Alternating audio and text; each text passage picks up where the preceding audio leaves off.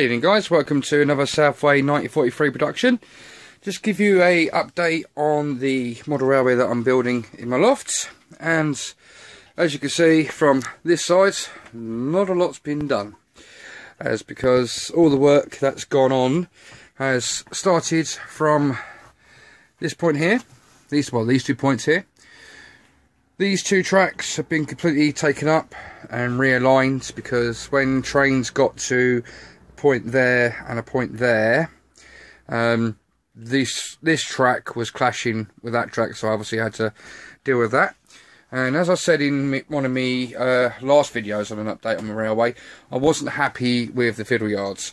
And as you can now see, it has now been completely ripped up. And we now have a fully functional depot. At the moment, all the track is laid and all the track is live with uh, DCC power. As you can see, I've got uh, two of the, I think it's Train Tech buffer stop LED buffer lights. What two there, and I've got one there. Just got to get one for that one there, and uh, at the moment, another one for there where the 08 shunter is. Now, as you can see, it is a two-road Bachmann maintenance depot with obviously two end road. You have the uh, Bachmann site office in the middle, and you've got obviously these two lines obviously going up and onto the main line there. And at the moment, it is a normal um, crossover, diamonds, whatever people like to call it, but I like them cross, like to say, crossover from Peco. It will be eventually a double slip, so trains from this outer track can come into this section as well as trains from the outer one. At the moment, obviously, only the trains from the outer one could come in here. Um, so that's something for the uh, if, future. Um, been sorting out some lights, as you can quietly see got the first light working in a depot. And as you can probably see if you've watched my videos before it's the same depot from my uh, exhibition layout. Somerton TMD basically just borrowed it off of that one. So it's, it's literally um, if you've watched uh, Richard's videos on Everard Junction and um, one of his videos shows you how he does his bus wires for his DCC how he uses uh, blue clips that collect onto the wires and obviously little red tags that connect onto your wire and then they go into the blue strips. It's basically what I've done there.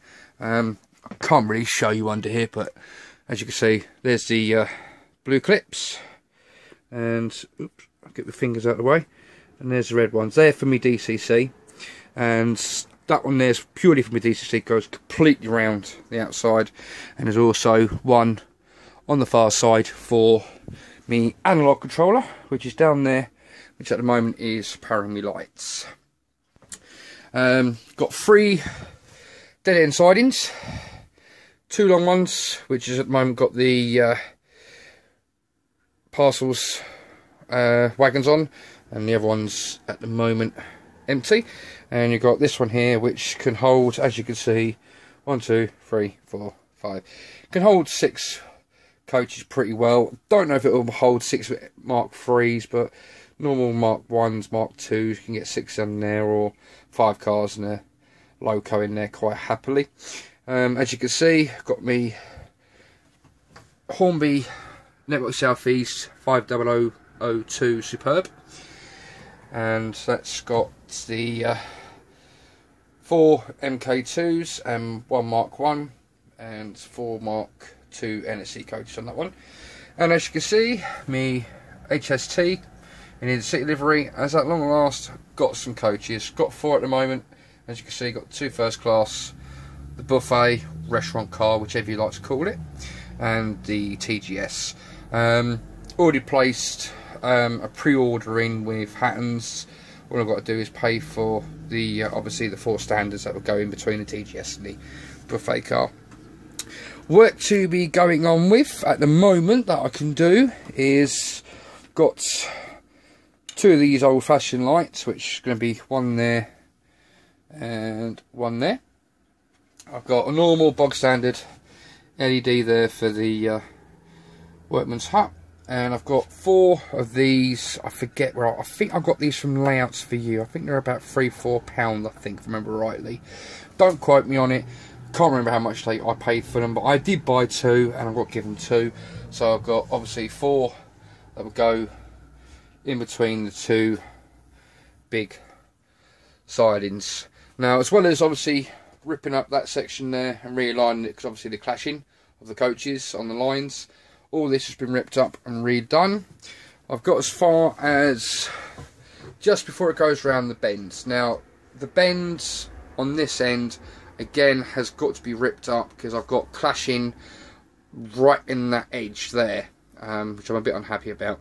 But it gives me um, the chance to sort the station out. I'm happy with the station the way it is, but I'm not happy. As you can see, um, I did have two um, dead end lines here. I've ripped them up for the time being because I borrowed the uh, track for this side.